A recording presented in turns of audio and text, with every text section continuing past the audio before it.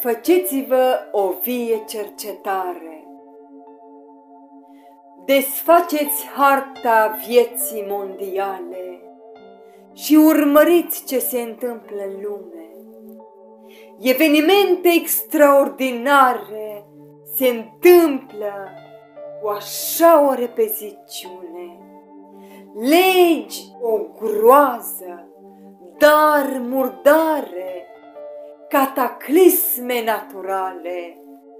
Uriciunea pustiirii a ajuns în vârf de culme. De-am avea ochii deschiși și am fi plini de Duhul Sfânt, am vedea că Dumnezeu ne vorbește tot mereu. Dar trăim o pocăință ieftină, fără valoare, când Hristos ne cere într-una o credință vie, trează. Diavolul ne dă târcoale să cădem în pofta firii. De aceea creștinismul e căzut în ațipire. Acceptăm să luăm decizii ce sunt împotriva lui și apoi ne mirăm că Domnul ne mai bagă în cuptor. Ne mai cercetăm noi oare de suntem cum Domnul cere? Sau am ațipit pe cale ca și cele cinci fecioare?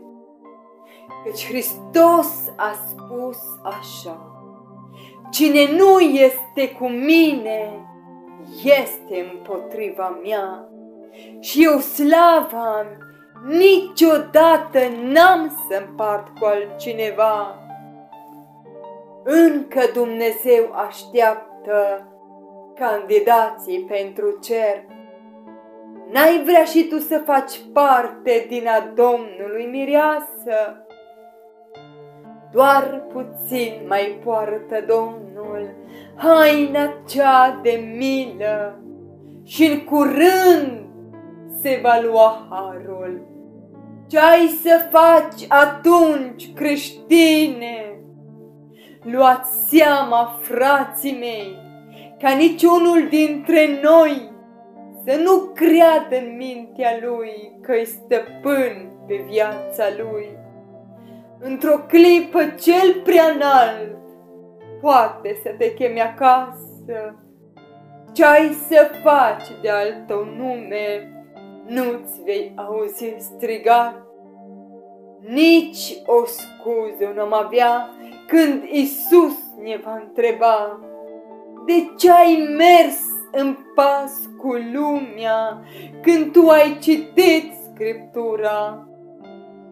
Căci cu mult mai aspră fiva judecata pentru acei care au știut cuvântul, dar s-a lepădat de el. Cercetează-te creștine și întreabă-te, fii sincer, Duhul Sfânt mai este în tine. Nu te mulțumi că l-ai, dar ești orb spiritual. fă să crească, să rodească, uleiul să ți se înmulțească și oglinda ta să fie Biblia, cartea divină.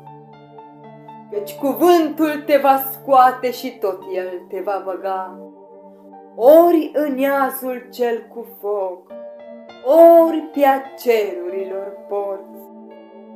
Pentru acei ce în viața aceasta Domnului nu i-au slujit, ei abia vor ca răsplată iazul cel cu foc aprins.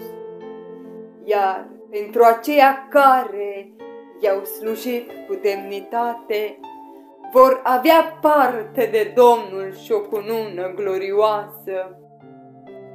Domnul vrea să-ți dea cununa, dar te lasă să alegi.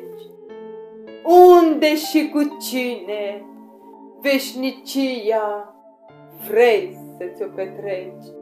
Amin, amin.